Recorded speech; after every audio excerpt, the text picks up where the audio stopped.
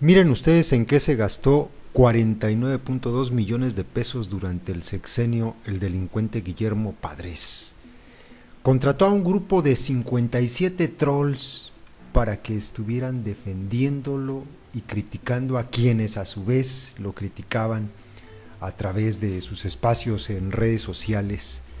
Tenía operando a estos 57 delincuentes en el C4, en el Centro de Control y Comunicaciones y Cómputo. Los pagaba obviamente el propio pueblo.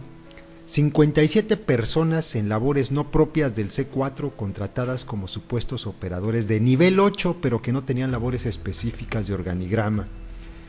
El titular del C4 no está calificado para realizar contrataciones, cambio de niveles ni adscripciones. Los movimientos laborales los ejecuta el titular de la Coordinación Estatal de Tecnología y Estudio por conducto de la Dirección de Recursos Humanos de la Secretaría de Seguridad Pública.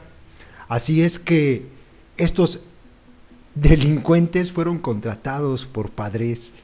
Les pagaba de a 12 mil pesos por mes, además de que tenían prestaciones y todo, estaban dados de alta en la nómina del gobierno, vamos, el pueblo le pagaba a estos 57 delincuentes que contrató Padres para defenderlo, para atacar a su vez a personas que emitían noticias que no le eran favorables o que no le gustaban, a varios reporteros, les enviaban incluso eh, fotografías, amenazas, de verdad, eh, a veces, según lo que reporta la información que publicó Proceso, que se equivocó por ahí en las cuentas, pero que en realidad pues son 49.2 millones de pesos los que se alcanzan a, los que alcanzó a pagarle estos 57 delincuentes.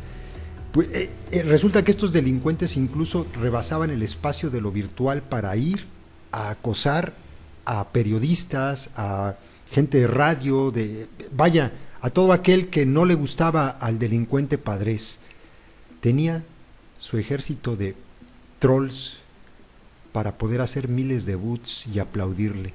Estamos hablando nada más de padres, pero esta práctica la tienen pues todos.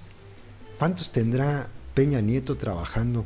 Si este delincuente se gastaba casi 50 millones de pesos o se gastó casi 50 millones de pesos durante su sexenio para aplaudirle, ¿Cuánto dinero no se habrá gastado ya Peña Nieto en estos tres años que lleva con toda la cantidad tan impresionante de trolls que tiene y de ciber huevones que tiene ahí aplaudiéndole?